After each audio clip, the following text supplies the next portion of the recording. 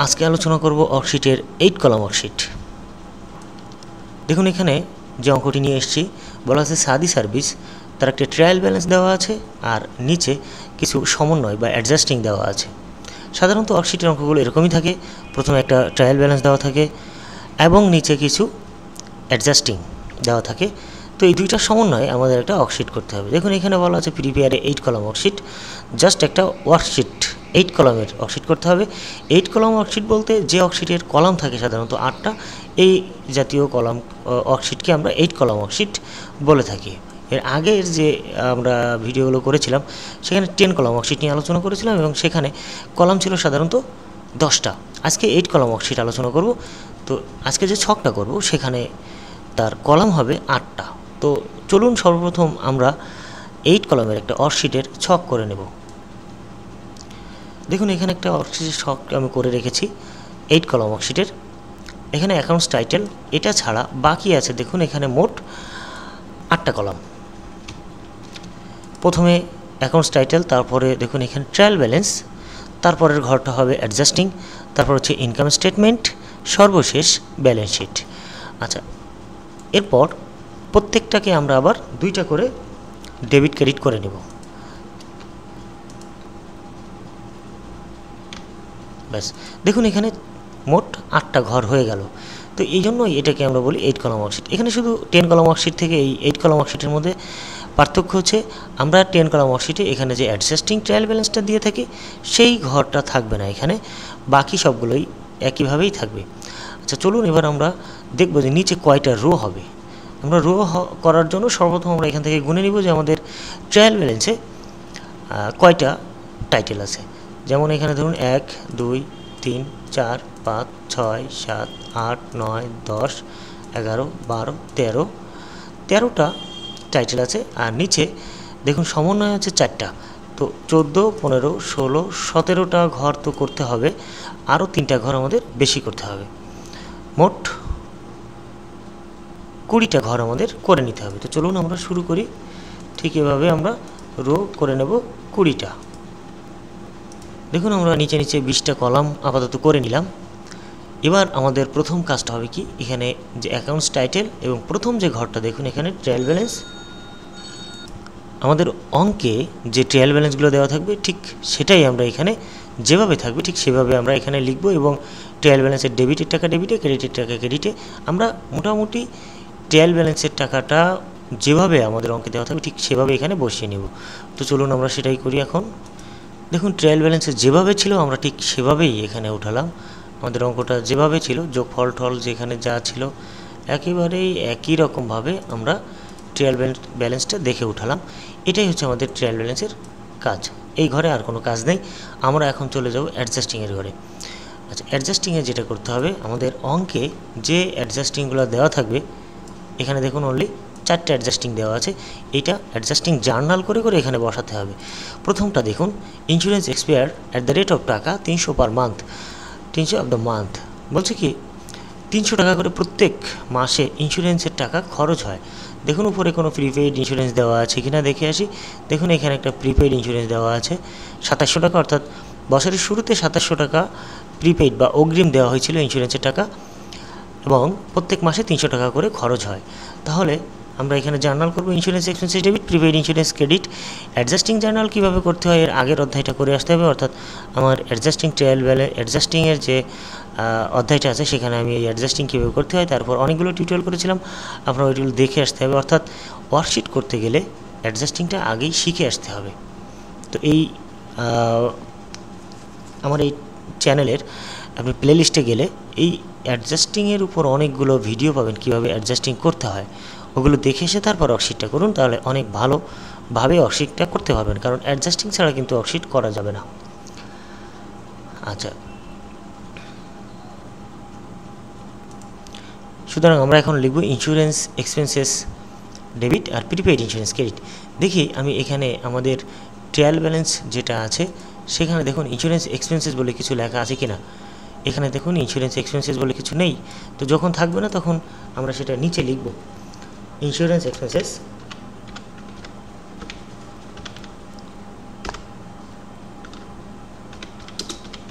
insurance expenses debit পাশে আমরা লিখব অনলি তিনশো টাকা।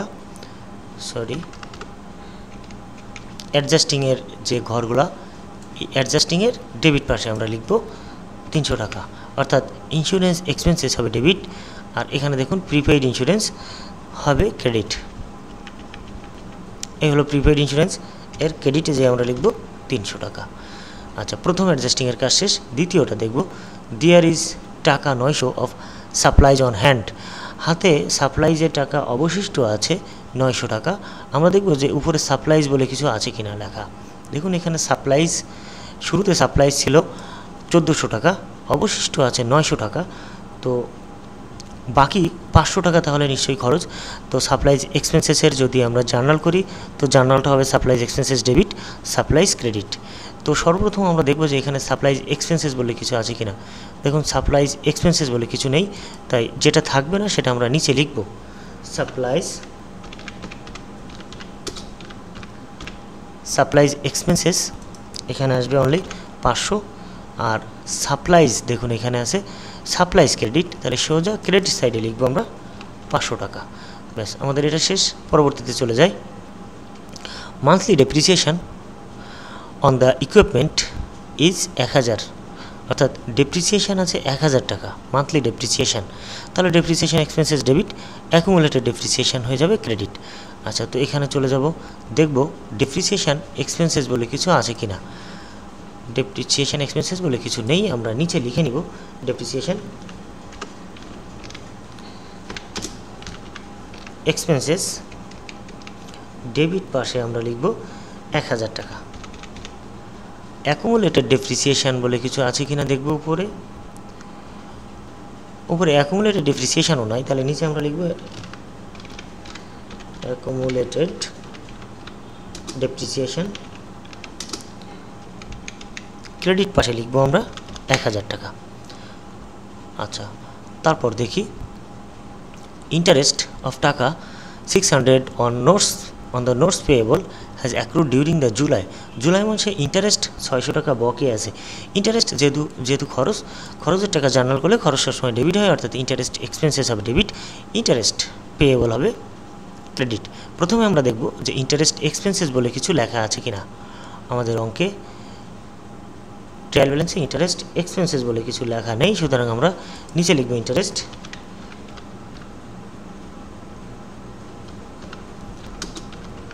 ইন্টারেস্ট এক্সপেন্সেস আমরা অ্যাডজাস্টিংয়ের ডেবিট পাশে লিখব ছয়শো টাকা। ইন্টারেস্ট পেয়েবল বলেও কিছু নেই উপরে, তাহলে সেটাও আমরা লিখব ইন্টারেস্ট পেয়েবল ক্রেডিট পাশে লিখব ছয়শো টাকা। এবার আমাদের দেখুন, এখানে অ্যাডজাস্টিংয়ের কাজটা শেষ। আমরা নিচে যোগ যোগ ফলটা লিখব, তার জন্য আমাদের আরও দুইটা ঘর প্রয়োজন। একটা ঘর ফাঁকা রেখে দ্বিতীয় ঘরে আমরা লিখব টোটাল আচ্ছা এবার আমরা এটা যোগ করলে পাবো চব্বিশ হাজার এখানে চব্বিশশো, এখানেও চব্বিশশো। ডেবিট ক্রেডিট সমান হয়ে যাবে।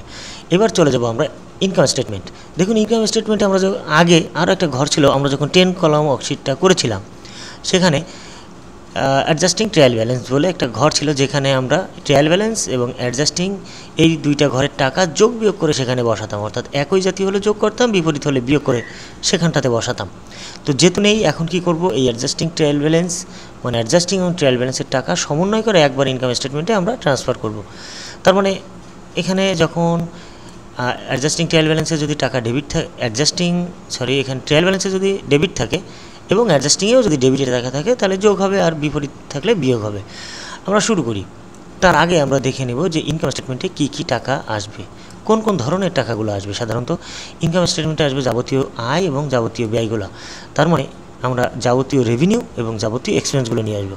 সহজ কথায় বলতে গেলে এই যে অ্যাকাউন্টস টাইটেলগুলো আছে, এর যার শেষে এক্সপেন্স থাকবে সেটা এবং যার শেষে রেভিনিউ কথা থাকবে, সেই টাকাগুলোই কেবলমাত্র ইনকাম স্টেটমেন্টে আসবে।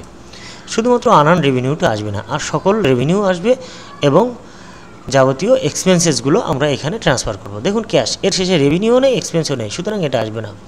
অ্যাডভার্টাইজিং এক্সপেন্সেস এটা আসবে। এখানে সাতশো টাকা আছে, সুতরাং আমরা এখানে ডেবিটে সাতশো টাকা বসাবো। ইউটিলিটিস এক্সপেন্সেস যেহেতু এটা একটা খরচ ডেবিট পাশে ইনকাম স্টেটমেন্টে সরাসরি পাঁচশো টাকা বসবে। স্যালারিজ এক্সপেন্সেস এটাও একটা খরচ, অর্থাৎ যার শেষে এক্সপেন্স কত থাকবে, সেটা আসবে। সুতরাং এখানে বারোশো আসবে। দেখুন, এখানে সার্ভিস রেভিনিউ যাবত যার শেষে এক্সপেন্স থাকবে সেটা আসবে, যার শেষে রেভিনিউ থাকবে সেটা আসবে। তো যেহেতু রেভিনিউ আছে, আমরা এখানে পঁচিশশো টাকা বসাবো। সরি পঁচিশ হাজার টাকা এটা।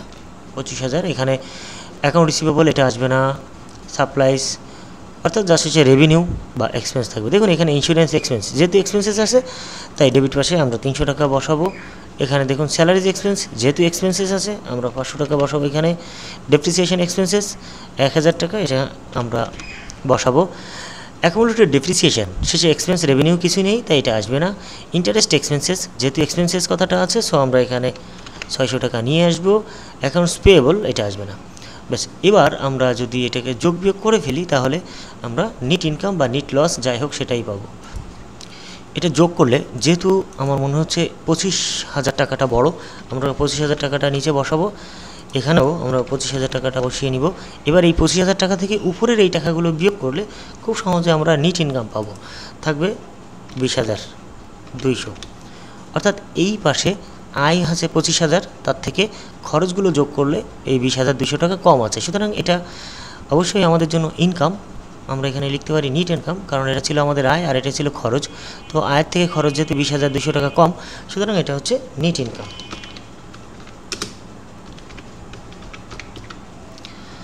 আচ্ছা এবার এটাকে আমরা ক্লোজ করে দিতে পারি। চলে যাব ব্যালেন্স শিটে ব্যালেন্স শিটে সেই সেই টাকাগুলো আসবে, যে টাকাগুলো আমরা ইনকাম স্টেটমেন্টে আনা হয় নাই, শুধুমাত্র সেই টাকাগুলোই আসবে। দেখুন, এটা ইনকাম স্টেটমেন্টে আসে নাই, তাই ছয় হাজার পাঁচশো টাকা চলে যাবে ব্যালেন্স শিটে এগুলো চলে আসছে, এগুলো আর আসবে না। মানে ইনকাম স্টেটমেন্টে যে টাকাগুলো আসছে, ওই টাকাগুলো বাদ দিয়ে বাকি সব টাকা আমরা ব্যালেন্স শিটে ট্রান্সফার করব। সুতরাং এখন আসবে তিন হাজার। এ টাকা যেহেতু, দেখুন এখানে আছে সাতাশশো টাকা আর এখানে আছে তিনশো টাকা। এটা ক্রেডিটে এটা আছে ডেবিটে সুতরাং এটা বিয়োগ করে আমরা ডেবিটে বসাবো, কারণ ডেবিটের টাকাটা বড় আছে।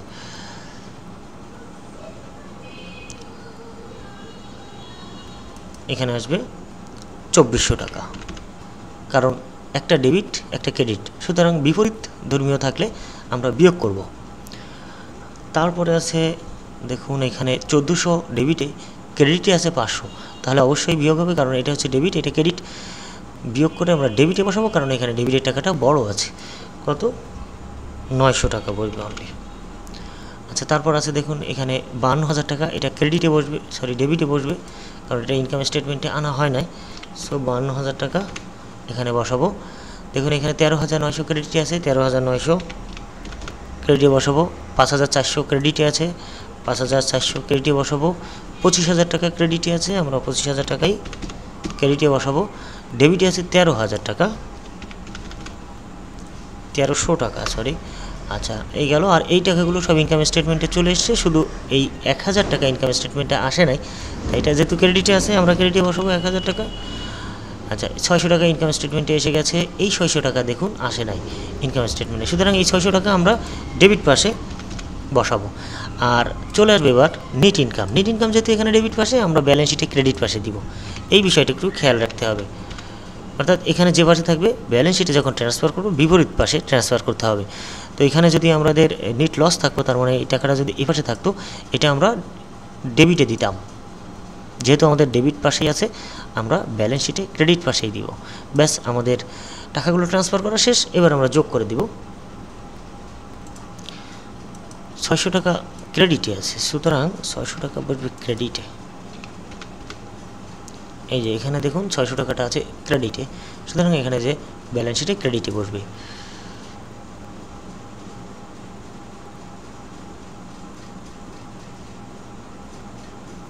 এবার আমরা যোগ করে ফেলি।